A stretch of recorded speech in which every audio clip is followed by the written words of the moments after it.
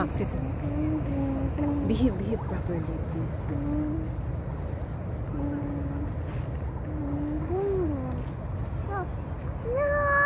Sit down, Max. You want to go home now?